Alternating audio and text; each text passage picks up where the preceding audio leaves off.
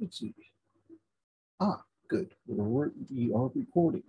So, folks, uh, this is going to be a long one, but I will be calling out the different sections as I go along. So, it's first, I think, worthwhile to observe. This is the prologue. Prologue. It's first worthwhile to observe that the author of our textbook and I approach religion, religious studies in a very different way. Uh, on the one hand, I'm in one sense more specialized than he is, but in another sense, I'm more of a generalist. Let me explain. My specialty is in the area of law and religion, since I both have a Juris Doctor and a master's in religion. Most of my publications to date have focused on how different religions have impacted on our legal system and been impacted by our legal system. So uh, because we live in such a pluralistic, religiously pluralistic society, as a result, I end up knowing a fair amount of most of the major religions in the world. So now, as a result, when I read the text, I'm employing both legal reasoning and a world religions approach. Also, although I have a degree in philosophy, I suspect I have more of a focus on ancient schools of philosophy rather than our author, who I have seen more than once ascribing um, really ancient ideas to more 20th century philosophers. Um,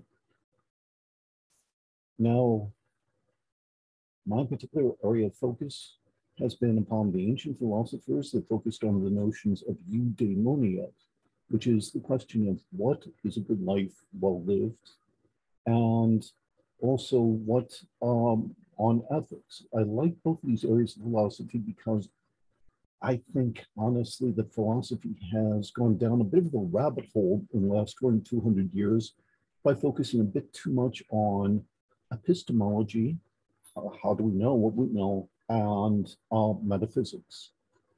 Now, that's why in these announcements, I've been trying to supplement the text to address points our author seems to have looked in regards to uh, the many alternative perspectives on theism and world religion, as opposed to the much, much narrower and sometimes problematic one of the Abrahamic traditions which our author seems to take as representative of all theisms. No, no, Abrahamic theism is actually a very narrow kind of theism as compared to the theism of other major religions in the world. Also, I feel obliged. Um, so, uh, ah, one sec. Ah, here we go. Lost my place. Sorry, folks. Also, I feel obliged to bring up issues of critical thinking. Uh, for example, the importance of evaluating the number and quality of sources to evaluate the credibility of the works that we're engaging with. You see, as an attorney, I am using tools of legal reasoning to weigh and assess the validity of the arguments being presented. But also, as a scholar, I'm trying to model how to engage with scholarly works in a scholarly way long and short, it's not sufficient to really read and understand the text. Scholarship calls for active, critical, and independent thought. So as you read the assigned text and one hopes my announcements, I hope you will heed the advice that is attributed to Shakyamuni Buddha, both in reference to our author, but also, I admit, in reference to my own announcements. Shakyamuni Buddha is Buddha's having said, do not believe in anything simply because you have heard it. Do not believe in anything simply because it is spoken or rumored by many. Do not believe in anything because it is found written in your religious books or in the textbook. Um, do not believe in anything merely on the authority of your teachers or your elders. Um, do not believe in traditions because they've been handed down by many generations. But after observation and analysis, when you find anything agrees with reason and is conducive to the good and benefits of one and all, then accept it and live up to it. Which is to say, folks, I have some thoughts to share on this chapter about miracles, which, although I think has some strong points, and I will be pointing those out, it goes a bit astray on a key point towards the end. But I think this is the prologue, and that's already kind of long. So let's turn to announcement number one. And let me begin with a confession. Ah, this is an administrative matter. It only came to my attention last week that the edition of the textbook that I have is the third edition, and apparently we're using the fourth edition. So I've been making uh, page references so that you could know what I was referring to in these other announcements. Um, because we're dealing with, with different editions, therefore, I will, whenever possible, try to give you quotes from the relevant section to make it clear what I'm responding to. So, comments, observations, elaborations, and clarifications, part one. On page 122, our author again allies all theism with Abrahamic theism when he states that theistic religions generally stress the occurrence of miracles. Well, although we do find miracle narratives in Judaism, Islam, and Christianity, and those are taken as being central to the beliefs, those belief systems, that's not typical of all or even most theisms. Confucianism, for example, and Taoism have few, if any, miracle narratives. Although there are one or two miracles in the traditional narrative of Shakyamuni Buddha, those aren't the point of the teaching. As per the quote I shared in the prologue, Buddhism focuses as much or more on orthopraxis, correct practice, as it does on orthodoxy. If you go to a Zen um, retreat center, the focus will be, are you doing the Zen meditation correctly? And then share what you experience in the process of doing that meditation. It's not a matter of reading the sutra and being able to quote it chapter and verse. Now, even religions with scriptures often treat them as literature rather than as facts. The Buddhist sutras, I don't think your average Buddhist would be terribly upset if they found out, for example, that the character of Vimalakirti in the Vimalakirti Sutra didn't exist. It's literature. It says something profound and true about the human experience. Uh, literalistic interpretations of sacred text are indeed found in the Abrahamic traditions, but that much approach is much more prevalent in the more conservative sects of the Abrahamic traditions. Orthodox Judaism, Shiite Islam, evangelical Christianity, and much less so in the more progressive or mystical sects, progressive Christianity, Reformed Judaism, um, Sufi uh, Islam. On page 123, at least in my edition, the author says people today still believe in miracles. Now, that might be true, but this would be a much stronger point if it was backed up. Um, is belief in miracles prevalent, or is it marginal, or is it somewhere in between? What is the percentage? Again, page 123, we find a quote it is more difficult to believe in miracles than it once was. To accept modern science is to expect to find natural causes for most, most of the events occurring in nature. Now, this notion is sometimes called the God of the gaps, uh, as the notion is that religion exists to explain the natural world. And the people that argue for the God of the gaps, well, the argument against the God of the gaps is that as our knowledge, range and depth of our knowledge has expanded, those gaps are getting smaller and smaller and smaller. I've linked a video with Neil deGrasse Tyson talking about this notion. Now, he is an a full and admitted agnostic. I think he's a little bit sarcastic, but I think he gives a good um, example of the problem with holding onto the God of the gaps to hold on to theism. Um, let me also add, however, I personally, I personally would object to the notion of the God of the gaps as the linchpin for religion because uh, it's reductive. It tries to reduce all of religion to one specific aspect. Religion serves many, many different functions. Originally, it did have a function of trying to explain the natural world, but if that function is no longer as relevant as it used to be, that doesn't mean per se that religion is done for. So let me go to section two, announcement to sub two. Now, to the good, I want to give our author credit for addressing David Hume. I might be prejudiced here. David Hume is one of my all-time favorite philosophers.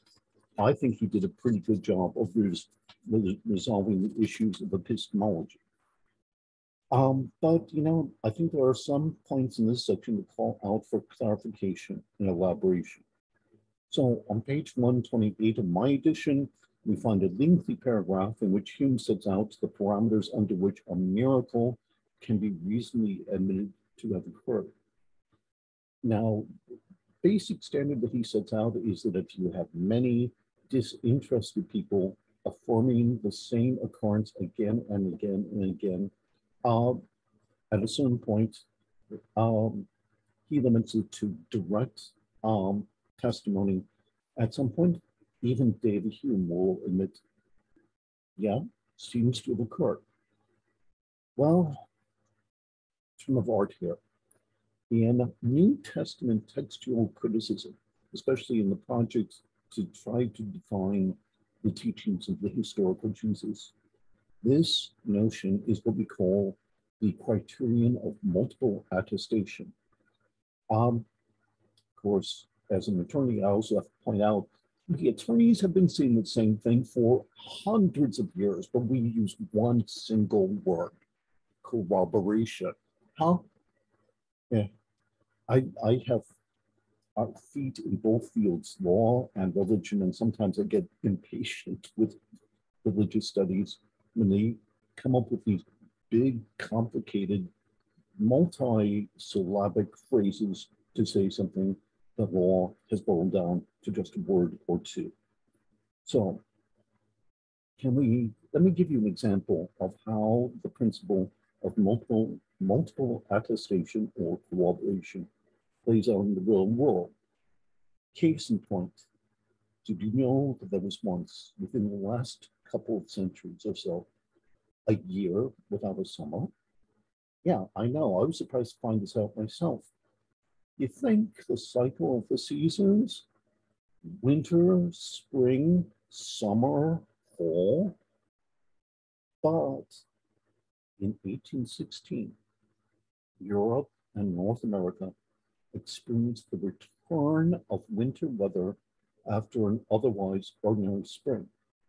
At that time, many blamed divine intervention and punishment. In the popular literature that we see that reports this event, there was also speculation, why is God punishing us?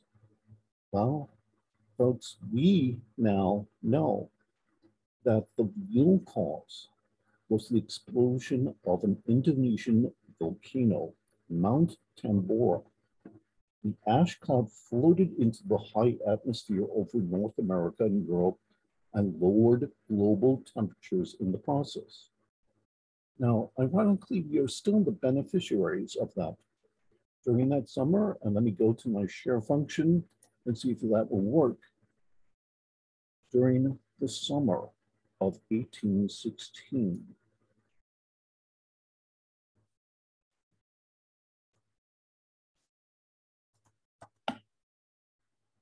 trying to use my PowerPoint here. Ah, here we go. During the summer of 1816, one of my images has disappeared. Ah, here we go. During the summer of 1816, the notorious poet Lord Byron, who is this gent here, um, he was once popularly dubbed mad, bad, and dangerous to know. He was like the original bad boy. Um, he was hosting a house party near Lake Geneva with his mistress, Clara Clairmont, and his friend, the poet Percy Shelley, and Percy Shelley's mistress, Mary Godwin, were at a nearby villa. Mary Godwin would later marry him, and become Mary Shelley. Also in this retinue was John Polidori. That's this gentleman in the lower right-hand corner, who was Byron's personal assistant, uh, physician. Well, to pass the time, uh, my printouts is out of order. I hate that. To pass the time, given the gloomy and raining weather, Byron proposed a contest. Each was to write a scary story and entertain each other. Mary Shelley, Mary Godwin at the time, wrote Frankenstein, essentially creating the first science fiction novel in the process. John Polidori here, uh, he wrote a novel not quite as commonly read anymore, but very influential. That novel was titled The Vampire a story about a vampire clearly modeled on his friend over here, Lord Byron. Now, before this time, although there were folk stories about vampires, they were portrayed essentially as shambling corpses, think something closer to what we think of as zombies nowadays. Polidori effectively created the vampire as we know it today, a vampire as being eloquent, charismatic, and seductive. Such an unlikely story, don't you think? That a volcano in Indonesia will cause a year without a summer and spur the creation of two important works of literature. But there's the thing. We can confidently say not only that it occurred due to the copious multiple attestation, that phrase again, or corroborative accounts, about both the weather phenomena in the first case and the numerous accounts of the writing contest in question by the people who were present and participated, which accounts almost entirely agree with each other.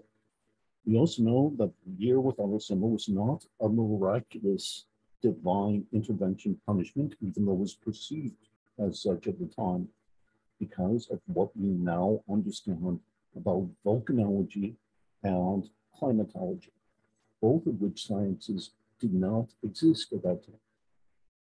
This gap, as per the God of gaps, originally assumed to be divine punishment the time, has been essentially closed by our subsequent learning.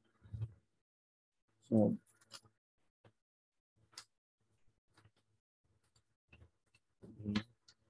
back to, I think about uh, how do we, uh, do myself a bit here. Uh, I hate when my notes get out of order. So I skipped over some material about John David Hume. Let me just talk a little bit about him. I mentioned he's one of my favorite philosophers. I like him because he is one of the fathers of empiricism. He held that our knowledge of the world is based on sense impressions. Such matters of fact are based on experience, a posteriori, and their truth is synthetic. The predicate is not contained in the subject. A bachelor is an unmarried male, while unmarried and male is implied in the subject. While for him, all truth is known after the fact via sense experience. He's credited as being one of the founders of empiricism and empiricism holds that all true statements ultimately refer back to sensory experience. As such, David Hume's ideas helped pave the way for experimental science as we have it today. So, next section. Our author on page 131 raises the point that in the process of scientific discovery, exceptions do occur to supposed laws, which have sometimes led to quote unquote laws of nature being revised. Although this is a valid point, I think the statement would be much stronger if our author had at least given us some examples of this. He hasn't, so let me have a go at supplementing that and give you a couple examples. The geocentric cosmology of Ptolemy made entire sense for most of human written history. You only had to know, standing on the ground looking up at the sky, that you felt stable, that you could see the sky moving.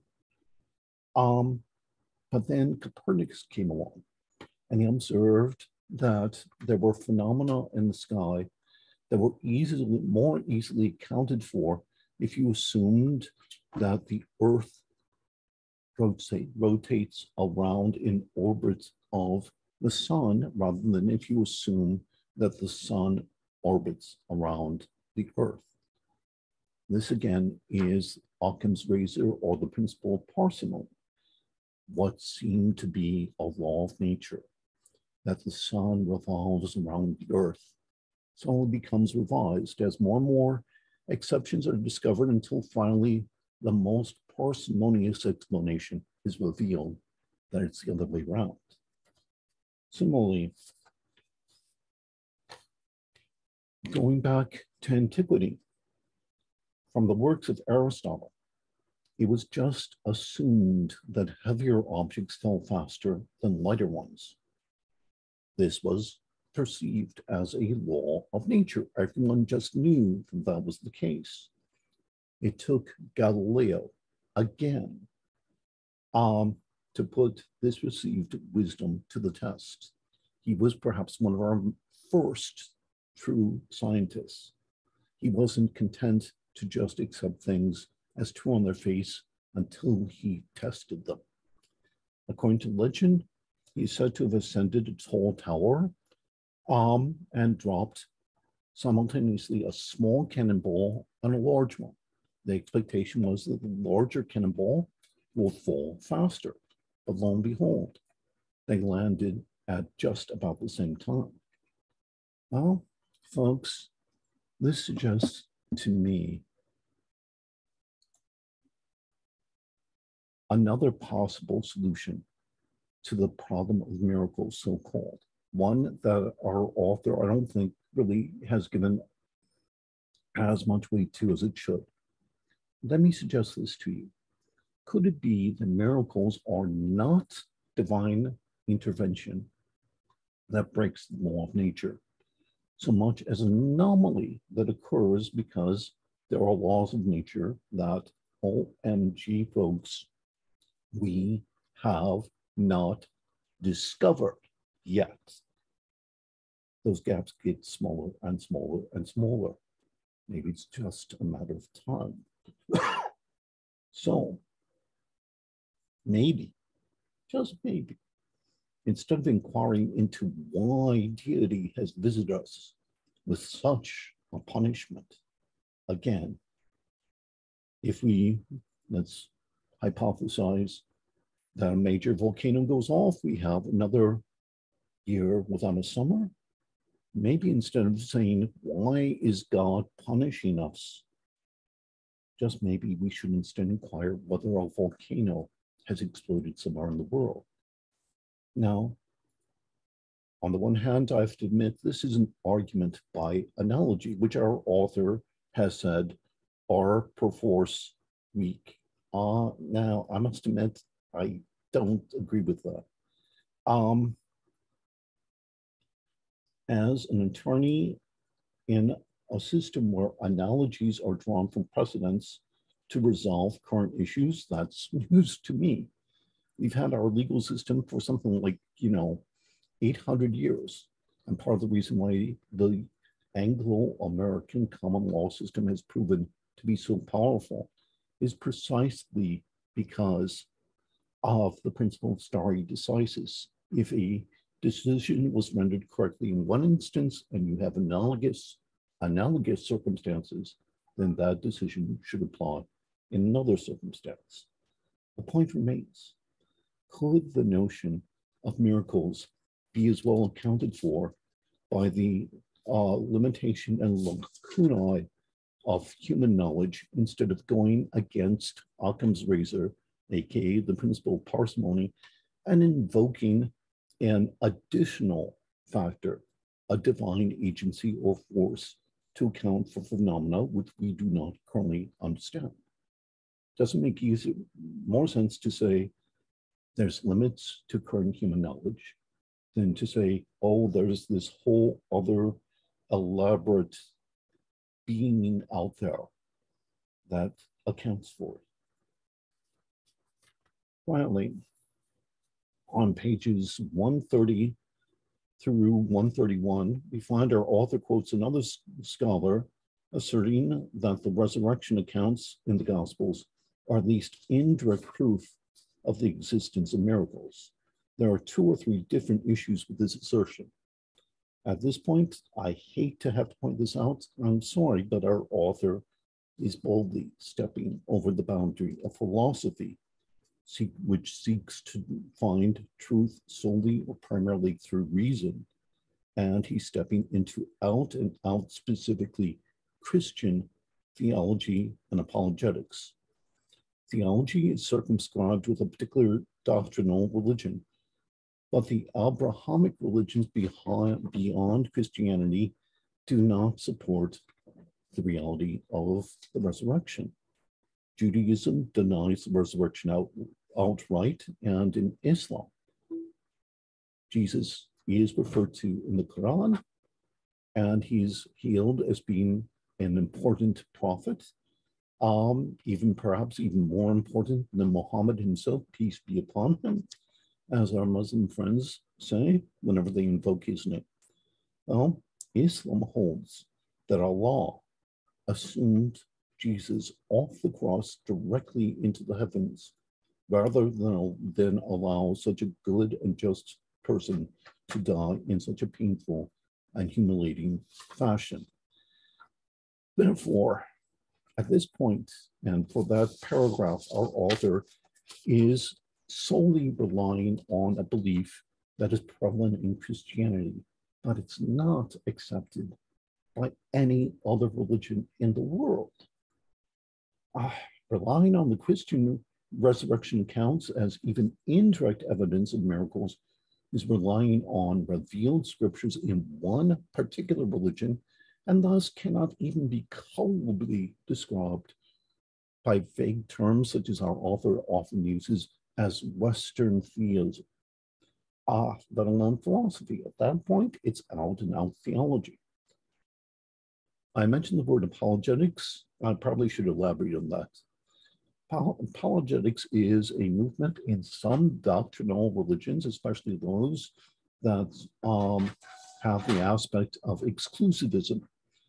Uh, Christian apologetics set out with two goals. One, to prove that Christianity is superior to any other religion.